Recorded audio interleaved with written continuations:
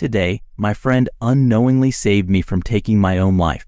September 28th to 29th, 2024 will forever be etched in my memory the day my friend saved me without even realizing it. I'm an 18 year old girl, and I had meticulously planned every detail. Before heading out, I penned a heartfelt letter to my boyfriend, apologizing and professing my eternal love. The letter poured out my emotions, saying all the things I needed him to know. With that done, I went about my day, starting with getting ready at midnight. Next, I met up with someone and hung out until 3:30 p.m. Feeling a bit lost, I spent the next hour wandering around, lost in music, until 4:40 p.m. Then, it was time to head to work. My shift ran from 5 p.m. to 8 p.m., and I went through the motions chatting with coworkers, completing tasks, and doing my job. After my shift ended, I was prepared to put my plan into action. But then I saw a text that changed everything. It simply read, "Hey, can you come outside?" I decided to call him instead. We met up around 8:30 p.m. and spent the evening together, grabbing drinks and strolling through the village. For hours, we talked about life, sharing stories and thoughts. As we walked, our conversations flowed effortlessly. I opened up about the struggles my boyfriend and I face, the fights that leave us both drained. My friend listened attentively, sharing his own experiences and insights. We delved into our past, reminiscing about childhood memories and first loves, our families, our dreams, our fears, nothing seemed off limits.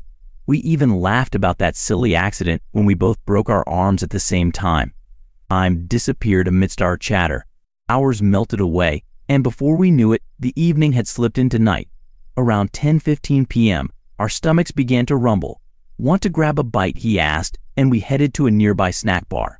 The neon lights and savory smells welcomed us, a cozy refuge from the night's chill. As we savored our snacks, the conversation continued, effortless and engaging. We meandered through the city, taking in the nighttime atmosphere. Laughter echoed through the streets as we swapped jokes and anecdotes. The world seemed brighter, lighter with each passing step. Eventually, the night wore thin. Around 12:20 a.m., we reluctantly parted ways, exchanging warm goodbyes. As I watched him disappear into the night, a realization hit me if my friend hadn't texted, if we hadn't met up, I wouldn't be standing here now. Midnight had been my deadline, the moment my plan was set to unfold. But my friend had unknowingly altered the course of my life. He had saved me from the brink, and I knew I'd never be able to repay that debt. I doubt I'll ever find the courage to reveal the truth to him. His innocence was what made it so powerful. Update I'm overwhelmed with gratitude for the kind messages and DMs I've received from so many of you. Your support means everything. As I wake up now 1:43 p.m. and reflect on last night's events, I'm filled with a sense of hope and renewal.